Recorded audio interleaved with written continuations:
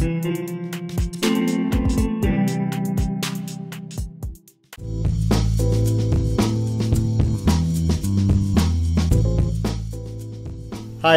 my name is Robert. I work for the MariaDB Foundation as a server engineer. Uh, and today I'll demonstrate to you how simple it is to use the account locking and password expiry features uh, that we added since MariaDB 10.4. Uh, our 10.4 release had a special focus on security and quite a lot of features got implemented back then. Uh, I remember the boldest one being uh, that we enabled Unix socket authentication by default but also we added MySQL Global Priv as a JSON replacement for the older MySQL user table. The account locking and password expiry features also got implemented back then and I'm very happy that it happened because a lot of users requested it for quite a long time. Uh, let's start now typing some hands-on examples uh, for these features.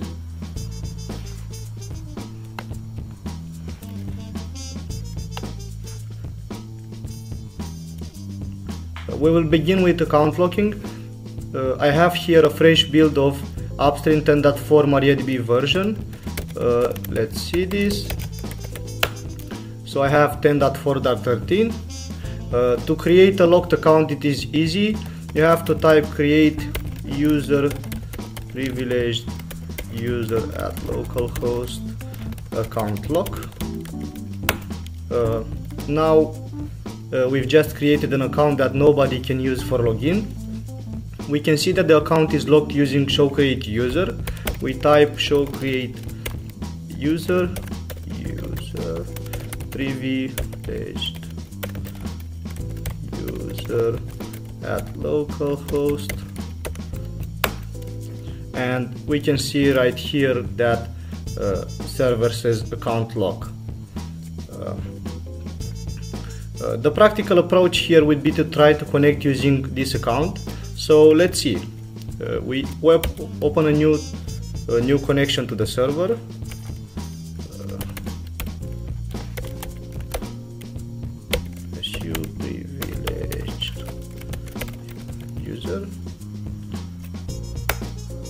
And we can see that the server returned an error. The account is locked. Uh,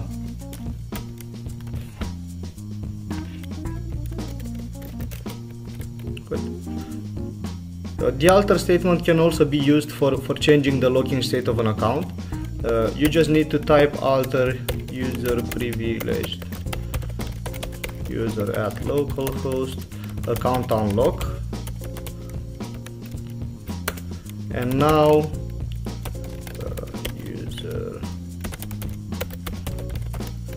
user at localhost. Now we can see that the account uh, is unlocked and the server will be able to accept connections for this account. Uh, good. A nice use case for this feature is to have a special purpose account as the definer uh, for running your store procedures or functions or even for views. Uh, let's say you want to have a stored procedure that some employees can can call to see the entire list of users that are registered in the server. Uh, sure, you can offer their accounts uh, the privileges for accessing MySQL.user uh, or MySQL.globalpriv, uh, but maybe you don't want to uh, due to security concerns, uh, or maybe you only want them to see the name column from from the user table and not other potentially sensitive data in there. So let's let's have our function. Oh, first we need to restore the locking state we, we altered above. So we type in alter user privileged, privileged user at localhost account lock. Now the account is locked again. Uh, we also need to grant access to privileged user that we created above uh, to be able to select from MySQL mysql.user. Uh, so we do this using grant select on column user on mysql.user to privy user at localhost. Uh, good, now we move on to the test database, use test, uh, and now we create the procedure. create definer equals privileged user at localhost procedure show users begin select user from mysql.user and we restore the delimiter back. Good we have the procedure. Uh, let's now create a new user to test this create user user at localhost uh, we now need to grant the execute privilege to the new user and also to the privileged uh, user so that they are able to execute uh, the, the procedure.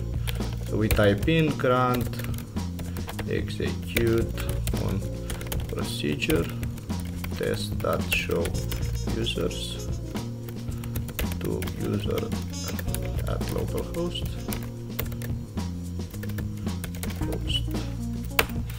good. We also do this for privileged user. Okay we now make a new connection to the server. Uh, MySQL user into the test database and call show users. And voila it works. Uh, so you get three main advantages with this uh, with, with this uh, uh approach. Uh, one is that you can be sure nobody uh, can connect to the locked account you used as a definer. The other one is that you can leave that account without a password and this means you don't need to maintain and remember that password. That is always a problem. Uh, the third one is that you can offer other user an API without offering privileges to the MySQL database uh, that are not necessary. Good. Uh, let's now move on to the password expiry feature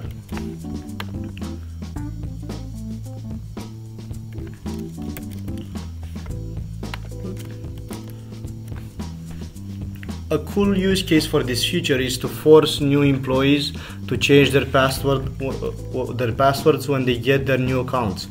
Uh, and you do this using uh, something like sorry uh, you do this using something like create user new employee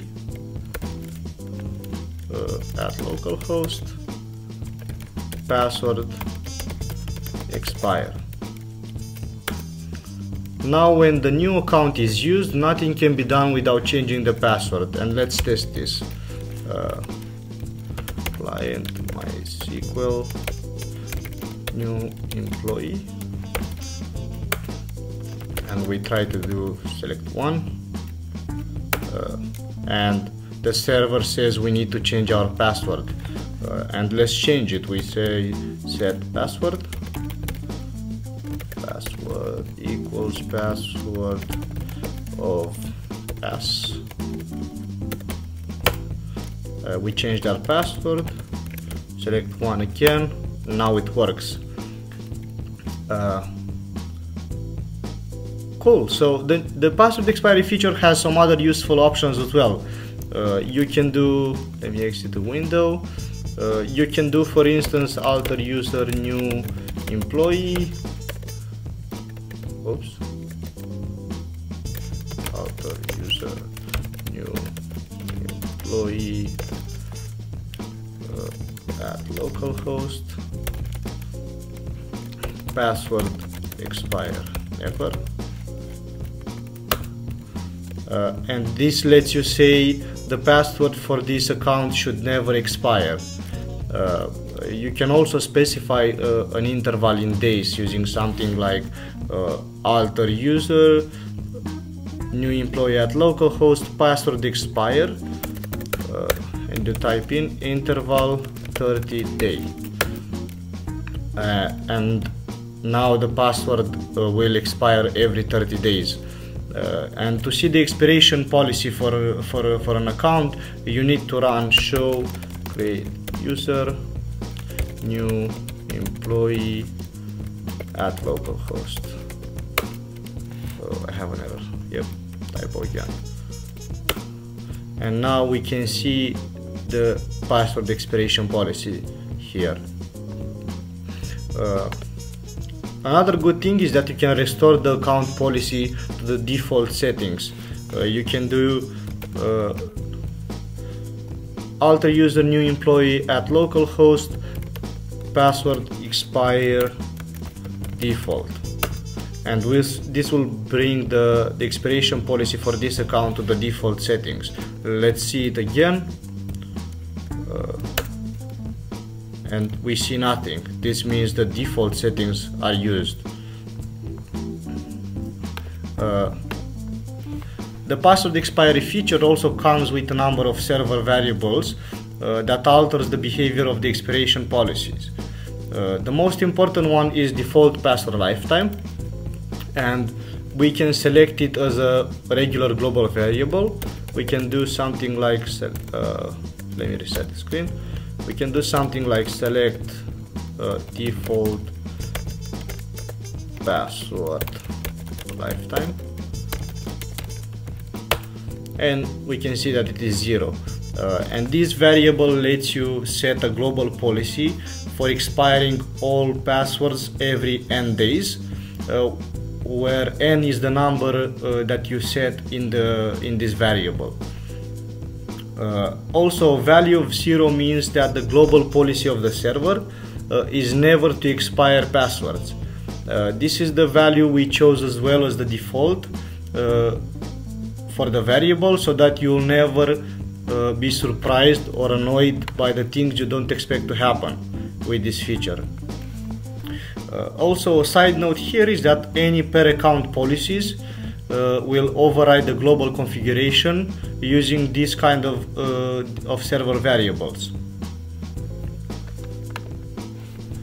And that's all I have for today folks.